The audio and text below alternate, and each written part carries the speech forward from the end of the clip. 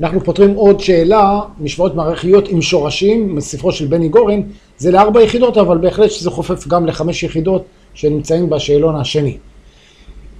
אוקיי, יש פה משוואה מערכית, שורש של חמש, וכל זה בחזקת x ועוד שתיים, זה שווה ל-625. השאיפה בדברים האלה שיהיה אותו בסיס. אז אנחנו כבר צריכים לדעת מניסיון שאת 625 אפשר לבטא בעזרת 5, גם אם לא, אפשר לנסות, 5 בחזקת 3 לא יוצא, עוד אחד, 5 בחזקת 4, הנה, 5 בחזקת 4 יצא לי. רק מה, מה אני עושה פה עם השורש? יש פה 5, זה בסדר, שורש. אז נזכור ששורש של מספר, נניח במקרה הזה זה 5, זה כמו לומר 5 בחזקת חצי, כאשר מדובר בשורש ריבועי. אם זה שורש שלישי, נניח, אז זה חמש בחזקת שליש. אם זה חמש בחזקת שתיים, שורש שלישי, אז זה חמש בחזקת שני שליש. אלה דוגמאות.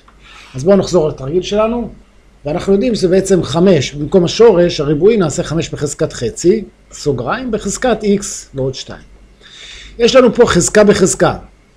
כשיש חזקה בחזקה, אנחנו כופלים בין החזקות. אז זה בעצם 5 בחזקת חצי x ועוד 2. שווה ל-5 בחזקת 4. הגענו למצב שהבסיסים שווים. אם הבסיסים שווים זה אומר שהחזקות שוות ונוכל להשוות ביניהם ולקבל משוואה פשוטה. חצי כפול x ועוד 2 שווה 4.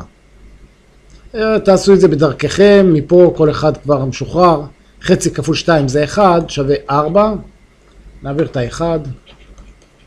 חצי x שווה 3, נכפול ב-2, x שווה 6.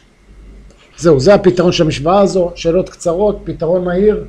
אה, אני ממשיך לשאלה הבאה, וכמובן זו שאלה שנשארה באתר, אתם יכולים להיכנס לאתר קיבילימטיקה וגם לשאול שאלות ואנחנו נענה. אז בינתיים ביי ולהתראות.